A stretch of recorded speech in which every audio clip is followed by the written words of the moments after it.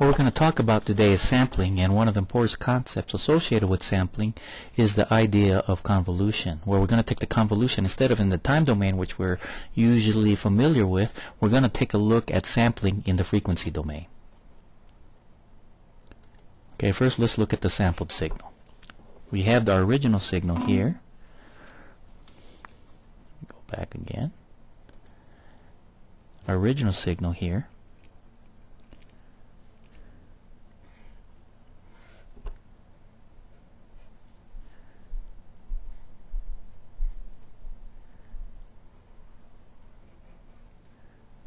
We'll call that x of t. And we'll put our sampled signal of that here.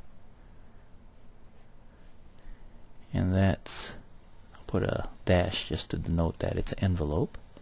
And we're going to sample at these points, these points, this point, and this point. So we're going to just sample it right there.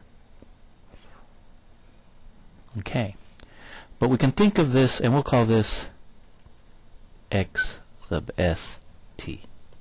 All this is a function of time. Right here and here. Now we can think of this as a multiplication between the original signal and some periodic signal. In this case, we'll call our periodic signal a set of impulse trains. So we got four points again, one here, all at the same height okay, and uniformly spaced. So that's our periodic signal. Mathematically, this means that our x sub s of t is equal to the product of x of t times p of t. Okay? But we note that that's a convolution in the frequency domain. Alright, so that's x sub s as a function of f, since we're in the frequency domain, convolution between our original signal and, here's our symbol for our convolution, and I'll put a circle, and a summation of p n oops f minus n fs going from n equal minus infinity to infinity. Alright? Now, what does this mean in terms of uh, convolution where we can express it mathematically in terms of an integral? Minus infinity to infinity x of u summation, don't forget that, that's because it consists of a periodic impulse train. And this fs is just the sampling frequency. So if this was right here, separation of t,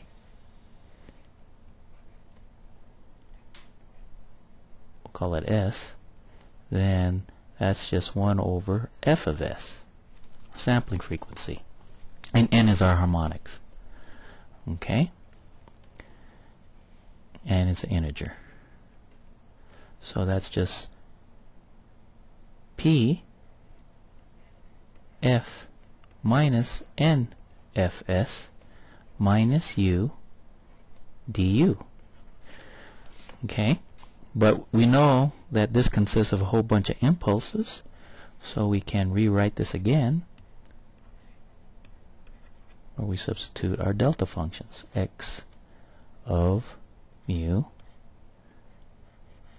n equal minus infinity to infinity del f minus nfs minus mu du. But this integral exists only when u is equal to f minus nfs.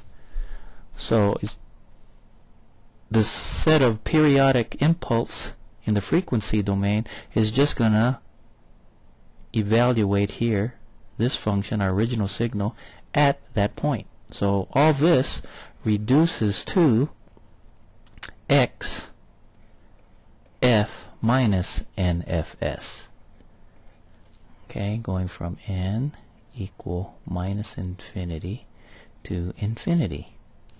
So here our sampled signal, x sub s, ff, is just multiple spectra of the original signal.